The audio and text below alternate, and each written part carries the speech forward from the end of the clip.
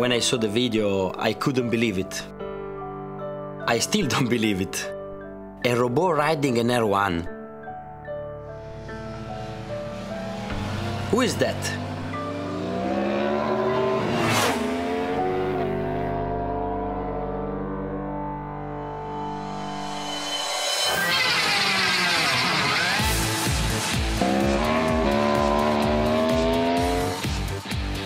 Ciao, ciao, Motobot.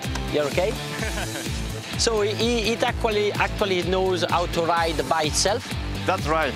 The R1 itself is unmodified since the goal of the project is to have Motobot ride the bike without making any changes to it.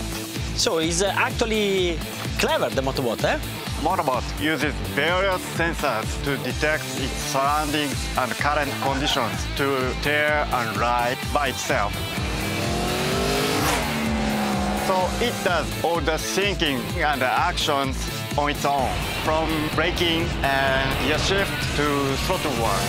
We've reached the stage of development for taking this guy to a race track. So it can already ride on the track? Yes, we are currently working on making the unit outrigger deployable so that Motobot can take deeper lean angle when cornering.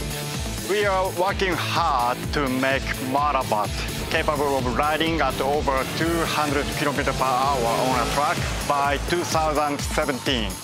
I can't wait to see. Motobot is being developed to challenge you. If you are willing to accept our challenge, could you please leave us your signature?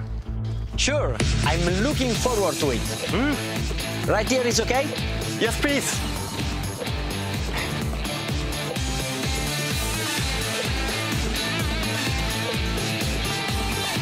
Hey, how about uh, I help you guys uh, out by doing some lap? Really? Yes, for sure. I think that the data might help you in your work.